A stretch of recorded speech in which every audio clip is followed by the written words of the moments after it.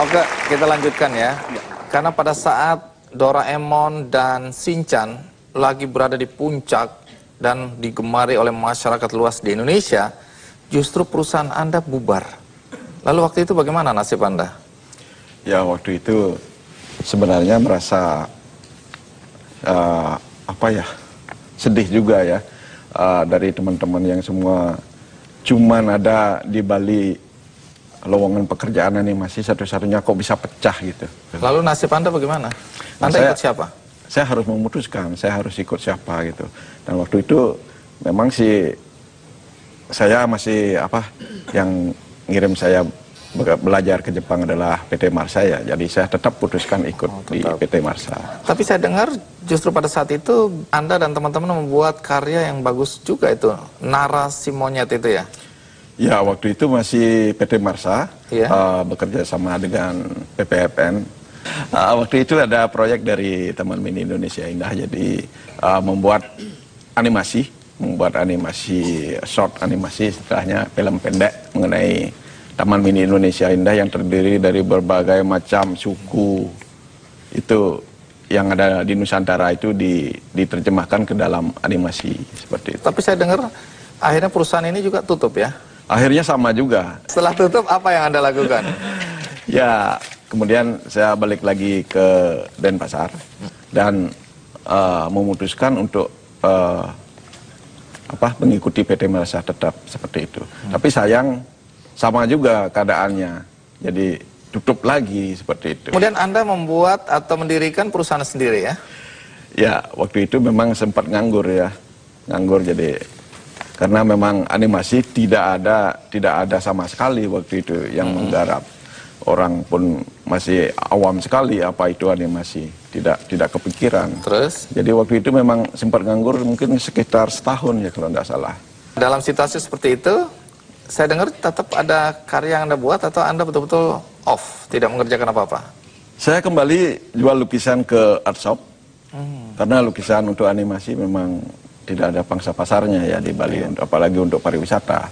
Jadi waktu itu kembali bikin lukisan tradisional Bali, kembali jual ke beberapa art shop di bilangan Ubud seperti itu. Kembali lagi kemudian Anda akhirnya mengerjakan kembali Doraemon dan Shinchan. Ya, Nah ini bagaimana?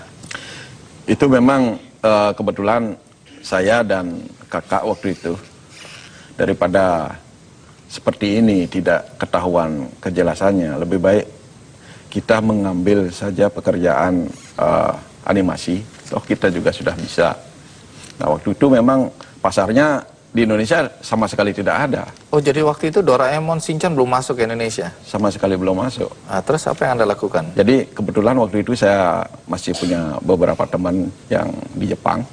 Jadi yang waktu magang di Jepang itu, ah, saya hubungi bagaimana kalau misalnya saya buka perusahaan di Bali, kemudian ah, masalah pekerjaan itu anda yang menyuplai, kemudian ah, tentu saja ada ada hal-hal yang harus harus dilakukan, misalnya masalah persetujuan harga dan lain sebagainya. Jadi saya memberikan eh, harga yang sangat miring sekali gitu. Untuk pertama kali supaya bisa dipercaya kembali. Jadi tidak semena-mena langsung kontrak langsung tidak. Terus apa pekerjaan yang diberikan akhirnya? Jadi ada pekerjaan percobaan istilahnya. Ah, ada beberapa lembar karena biasanya kan ada instruktur dari Jepang waktu masih bekerja di sebuah perusahaan animasi itu di PT Marsa. Jadi setiap melukis, membuat sebuah scene apa gitu, ada yang mengontrol orang Jepang sendiri. Nah, kemudian lepas seperti itu tentu saja harus dites katanya. Bisa tidak tanpa ada instruktur orang Jepang seperti itu. Dan ternyata memang waktu itu dites eh, sebuah apa ya kalau tidak salah Pokemon atau Doraemon ya cuma 10 10 scene. Nah, itu dites itu tanpa ada penjelasan apa pun. Terus Anda lakukan? Anda, saya lakukan. Dan Hasilnya? hasilnya sangat memuaskan seperti itu. Oh. Baik. Nah, coba bisakah Anda memperlihatkan apa yang Anda lakukan untuk atau kontribusi apa yang Anda berikan untuk eh, ini apa Doraemon Ah, atau Shinchan nanti Mari kita lihat di layar ini sudah ada. Ya, apa yang Anda lakukan? Ini kebetulan ini yang Doraemon tahun 2013 ya, Cinema. Nah, bagaimana Anda mereka-reka atau mengarang bagian belakangnya? Sudah ada instruksi atau kreasi itu bisa bebas Anda lakukan? Uh, memang kalau sebuah film animasi itu uh, tidak semena-mana semua orang bisa menentukan. Cuman satu orang yang bisa menentukan uh, gambar itu ada di art director. Hmm. Kemudian apa? Anda memegang alat apa ini? Ini seperti pintu Doraemon ini. Oh. ini bisa bikin melukis, melukis uh, seperti yang seperti di gambar. Iya, terus? Jadi alatnya cuma ini saja, tidak ada lagi. Jadi ini modal bekerja Anda? Ini modal bekerja untuk menjadi seorang background, spesialis background. Oh, terus bagaimana bagaimana Anda bisa mengimplementasikan perintah-perintah yang diminta oleh art director tadi? Uh, di art director itu memang sudah ada berupa storyboard. Uh -huh. Jadi di storyboard itu sudah sudah digambarkan hanya sepintas saja. Kalau ini jelaskan. gambar rumahnya siapa? Ini gambar rumahnya Sincang ini malam hari. Sinchan di malam hari. Iya. Jadi jendelanya kelihatan gelap. Gelap. Nah, kalau, yang paling susah apa ini kalau bikin latar belakang dari animasi? Kalau yang paling susah bikin latar belakang itu uh, bikin bikin view kota dari atas. Hmm. Jadi banyak sekali bangunan yang sudut harus pandang digambar. atas itu yang paling susah. Ya, itu sangat susah sekali. Apa susahnya orang tinggal kotak-kotak gitu? susah ini? Susah, tapi ya ini ini ini memang susah. Kenapa susah? Harus ada imajinasi tentang kota itu atau sudah ada gambaran kasar tentang kota itu? Uh, kalau gambaran kasar, ya. Jadi saya mencari gambaran kasar bagaimana sih kalau misalnya kota hancur seperti itu. Nah, kota ini Anda imajinasi dari mana nih kota ini? Uh, kalau kota ini tidak imajini, imajinasi saya. Oh. Jadi sudah diberikan uh, beberapa panduan skate. Iya. Jadi skate itu masih kasar sekali tidak seperti bangunan seperti ini. Oh, terus Anda menyelesaikannya ya, menurut uh, kemampuan saya dan ya. tambahan imajinasi sedikit. Ya. Rata-rata hasil karya Anda dikoreksi atau tidak? Kalau saya yang bikin kebetulan tidak pernah.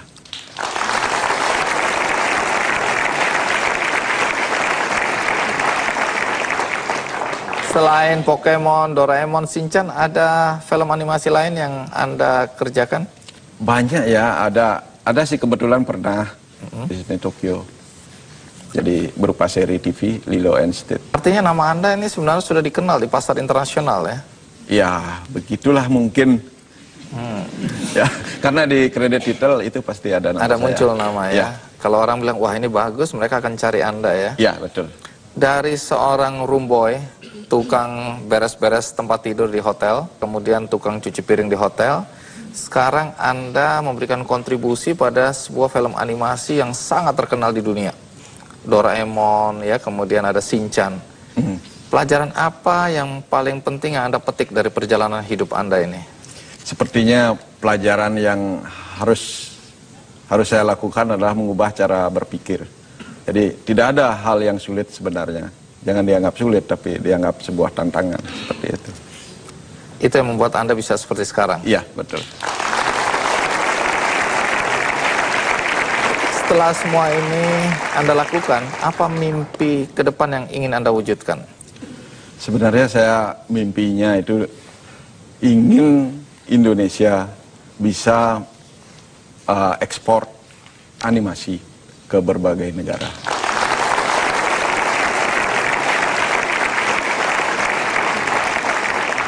Anda mau mendirikan sekolah animasi dan gratis. Kenapa ya. harus gratis? Kadang-kadang ada persepsi berbeda di anak-anak muda, jadi antara animasi dan desain grafis. Hmm. Nah, di situ terjadi salah komunikasi. Jadi desain grafis itu dianggap animasi. Ya. Jadi waktu itu saya kepikiran kasihan sekali uangnya kalau sudah mendaftar dan ternyata tidak sesuai dengan yang seperti yang diharapkan ya, seperti itu. Hanya untuk mengetahui basic saja salah masuk kamar seperti itu. Jadi saya tidak ingin hal itu terjadi dan saya untuk tahun depan memang ingin menggratiskan bagi anak-anak yang berminat di dunia animasi supaya bisa lebih ke depannya ada bekal seperti itu. Jadi ada penerus lah istilah bagi diri saya. Baik, ini cita-cita mulia ya. Ya. Kita doakan bisa sukses. Semoga. Tamu berikutnya adalah tamu yang sejak kecil bermain games bisa sampai 12 jam sehari. Apa yang kemudian dia lakukan dan bagaimana nasibnya sekarang? Ikuti terus Kick Andy.